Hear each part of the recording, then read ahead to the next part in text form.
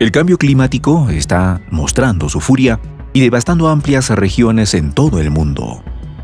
En este contexto, toma especial relevancia la advertencia de la vicepresidenta venezolana, Delcy Rodríguez, en la reciente cumbre de la Organización del Tratado de Cooperación Amazónica, OTCA, en Belén do Pará, Brasil. La representante bolivariana advirtió que la OTAN está alineando sus fuerzas para adueñarse, ahora, de la biodiversidad de la cuenca amazónica.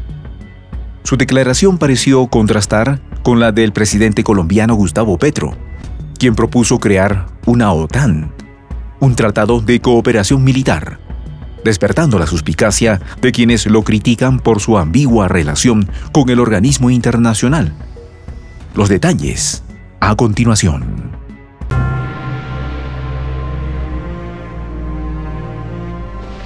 Voz de la Patria Grande. ¿Cómo pueden existir en nuestros países bases militares estadounidenses, europeas, otanistas, cuando sabemos que estratégicamente los países del Atlántico Norte ya tienen su mirada puesta sobre los recursos de este extenso territorio? Serían los cuestionamientos hechos por la vicepresidenta venezolana Delcy Rodríguez en la reciente cumbre de la OTCA en Brasil. Al respecto, Rodríguez advirtió que el ecosistema con la mayor diversidad biológica del planeta está expuesto a la voracidad de los emporios transnacionales, farmacéuticos y alimenticios, y a la tercerización de la función de los estados a través de organizaciones no gubernamentales financiadas y controladas por compañías del norte global. La representante del presidente Nicolás Maduro también dijo lo siguiente. Lo que está presente acá es un debate profundo sobre un orden económico internacional y un modelo de desarrollo sostenible que garantice un verdadero equilibrio entre la Tierra, los océanos y la atmósfera. El llamado urgente del gobierno venezolano incluyó la declaratoria de una emergencia regional. En los países que comparten el ecosistema con la mayor diversidad biológica del planeta y restablecer una fuerza de tarea ambiental adscrita a la OTCA, lo que contrasta con la propuesta del presidente colombiano, quien dentro de sus objetivos se ha fijado convertir a su país en una potencia mundial de la vida. Bajo este argumento, durante la visita a Colombia en noviembre de 2022 de la jefa del Comando Sur del Ejército de los Estados Unidos, Laura Richardson, el presidente en funciones Gustavo Petro autorizó el despliegue de Fuerzas Armadas estadounidenses en la región de la Amazonía. Semanas después, sin ocultar su satisfacción por suscribir este acuerdo, Petro incluso se declaró dispuesto a solicitar el apoyo a la OTAN, con la que Colombia mantiene actualmente una relación de colaboración en calidad de aliado mayor no perteneciente a la alianza. El problema es que la selva, que atraviesa el territorio de ocho naciones de la región suramericana, está en la mira del gobierno estadounidense desde hace buen tiempo atrás, según se desprende de varios documentos sobre seguridad nacional desde la década del 2000. Washington viene declarando hace más de 20 años la deforestación de la región amazónica como un asunto de seguridad nacional que amerita la intervención de sus Fuerzas Armadas con el objetivo de salvaguardar uno de los pulmones naturales de la Tierra. Y todo parece indicar que la puerta para conseguir su objetivo estaría abierta por el presidente colombiano.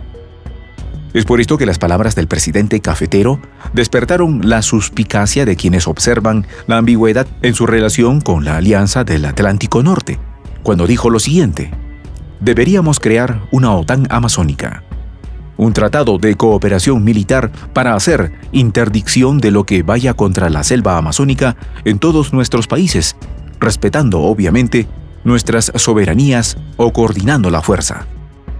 Y es que tan solo dos meses atrás, durante la ceremonia de juramentación del general William Salamanca como nuevo jefe de policía en Bogotá, el mandatario declaró que afianzaría en el ámbito global la cooperación con la OTAN, generando cuestionamientos ya que hacía unos pocos meses había criticado a esa organización.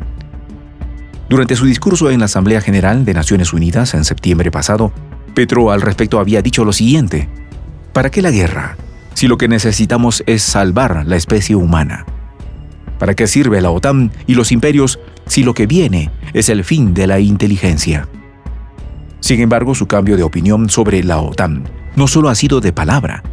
En su plan de política de seguridad, defensa y convivencia ciudadana del Ministerio de Defensa declaró que se buscará afianzar la cooperación con la OTAN, entre otras materias, en lo que respecta al cambio climático, abriendo la puerta de entrada a la selva amazónica a la alianza por territorio colombiano.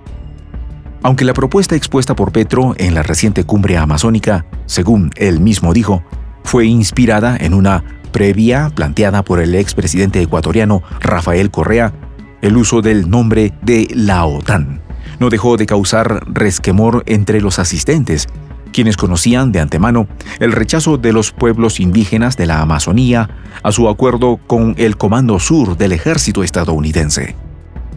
La primera asociación en manifestarse en este sentido fue la Organización de los Pueblos Indígenas de la Amazonía Colombiana, OPIAC, en septiembre del año pasado, rechazando el anuncio del presidente colombiano de crear una fuerza militar especial para el Amazonas en conjunto con el país del norte.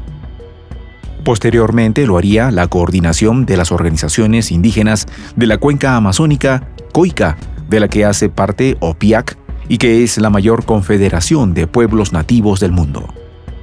Su líder, Fanny Cuiruo, solicitó que los representantes indígenas de los nueve países tuvieran un espacio de participación en la cumbre amazónica. Al respecto, Hamer Maniwari, representante de COICA, dijo lo siguiente. Se consideraron varios temas que aquejan a los pueblos indígenas en los nueve países amazónicos de Latinoamérica.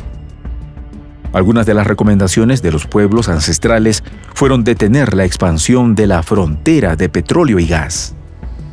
De igual forma, el tema de la cero deforestación para el 2030 y proteger el 80% de la Amazonía al 2025.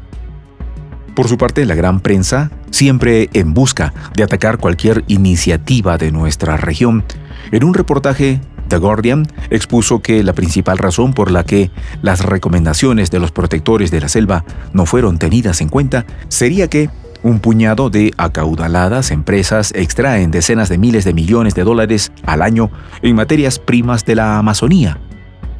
Lo cierto es que Amazonía representa un gran reto para nuestros países, se trata de territorio donde se encuentra la mayor mina de hierro del mundo y que años y años de gobierno neoliberales han buscado convertirla de la tierra más biodiversa del mundo en el hogar de poderosas potencias industriales. Y es que, según datos recientes, la ganadería comercial asociada a la industria del cuero es la primera causa de deforestación de la Amazonía, así como de emisiones de gases de efecto invernadero. El sector minero, por su parte, es la actividad amazónica financieramente más lucrativa, con más de 4.200 millones de dólares en oro extraído entre 2018 y 2022, dejando atrás grandes zonas erosionadas y con difícil recuperación, de acuerdo con el análisis del London Stock Exchange Group. En este complejo panorama es que se mueven los mandatarios que hacen vida en el bloque amazónico, que además de esto debemos recordar que no se trata de un bloque unificado, sino donde pugnan mandatarios comprometidos con sus pueblos, mientras otros tienen sus ojos e intereses en Washington. Es así como las palabras de la vicepresidenta venezolana vienen perfectamente a colación, como una importante alerta de la que no debemos olvidarnos en la patria grande. Soy el J, Juan José del Castillo, director del canal Prensa Alternativa. Si quieres ser parte de la comunidad de la Patria Grande, suscríbete a nuestro canal. Si es que quieres que te lleguen las notificaciones cada vez que subimos un video, activa la campanita. Si quieres apoyar a nuestro canal económicamente, puedes hacerlo a través de PayPal. El enlace está en la descripción del video. A nombre del equipo de prensa alternativa, me despido con esta expresión en el quechua milenario, Tupananchis Kama, cuya traducción es hasta volvernos a encontrar.